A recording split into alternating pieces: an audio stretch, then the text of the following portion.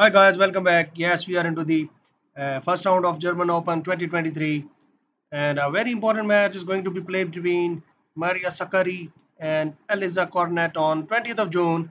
In this video, I will tell you about their career profile, head-to-head encounter and prediction for upcoming game. Do like, subscribe.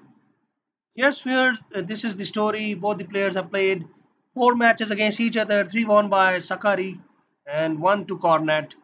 So Sakkari in a better position and most likely be the winner when we are considering head-to-head encounter. But this is not the only predicting factor. Yes, only one single title to Sakkari in her career against 6-2 Cornet. Uh, that is huge difference between the competitiveness of these two players. Uh, zero double title to Sakkari, 3-2 Cornet in her career. Uh, win losses in singles. Again, Cornet has a, a better record with 5 on 7 wins and 4 3 losses in singles, while Sakkari has 4 to 6 wins and 275 losses in her career in singles. Uh, although Sakkari has less winnings in singles, but uh, yes, uh, Sakkari has a better winning average. That is also important factor. As you, you can see that 275 uh, losses to Sakkari against 430 losses of Cornet in her single matches. When losses in doubles, again Cornet is a better player with 120 wins and 157 losses. Again, yes, uh, Cornet has more experience in doubles against Sakkari, but Sakkari has comparatively better winning average in doubles, 52 wins and 46 losses.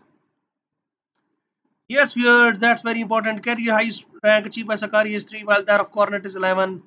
And current rank matters a lot. WT rank of Sakkari is 8, while that of Cornet is 60. So that will definitely uh, help Sakkari in winning the upcoming game. Both are young. Sakkari, 27, Cornet bit elder, 33 years of age. Sakkari, Greek player, while Cornet French player. Both plays right-handed. Year-to-date record. That's also a great predicting factor. No single as well as double title both the players. Yes, viewers 21 wins and 12 losses to Sakkari in current year. That is very good average against Cornet, who has only uh, 9 wins and 14 losses. And that is obviously not the head-to-head -head encounter, but the their individual records. So in singles, for current year, Sakkari is again a better player. Uh, no win to Sakkari in current year, one loss in doubles in current year, three wins and three two wins and three losses to Cornet in doubles in current year. So we are considering the whole profile of both the players. Year-to-date record of Sakkari is better.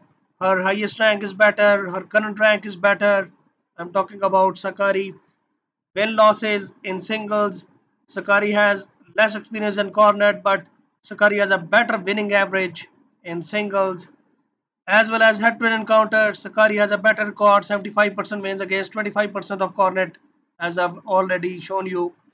But yes, the only factor Cornet uh, may have over Sakkari is in terms of single titles and the overall experience she has got in single as well as double uh, uh, title matches.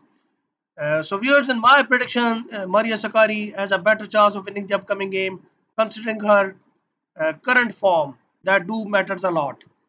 If you like this video, do subscribe, post comments. Thanks for watching.